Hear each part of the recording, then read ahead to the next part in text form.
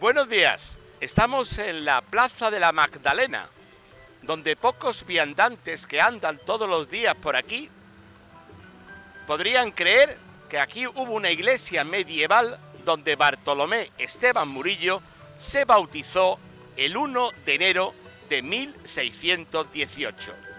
Él vivía muy cerca, donde ahora está la calle Murillo, una calle que la verdad no es maravillosa, pero que indica el lugar donde sus padres vivieron, Gaspar Esteban y María Pérez Murillo, que durante varios años estuvieron en el compás del convento de San Pablo, donde residían y tuvieron 14 hijos, el más pequeño, Bartolomé Esteban Murillo.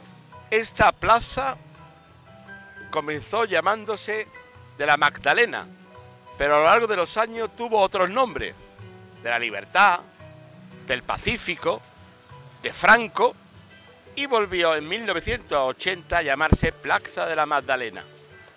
Y justo en la esquina está la calle Murillo, pequeña, muy pequeña, pero indicando, más o menos acertadamente, el lugar donde vivía la familia y nació seguramente en diciembre de 1617, el 31, el 30, Murillo.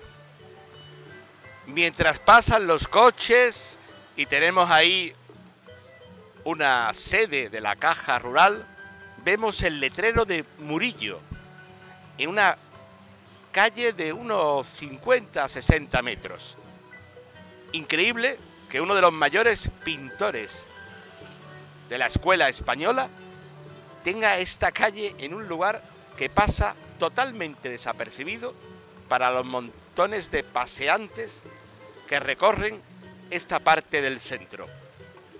Pues sí, aquí seguramente tuvieron lugar unos acontecimientos que serían tan importantes en la historia y la vida de nuestro genial pintor. La iglesia medieval de la Magdalena llegó hasta el siglo XIX y cambió sus enseres para mudarse a la iglesia del convento de San Pablo, donde en el compás tenía su residencia los padres de Murillo.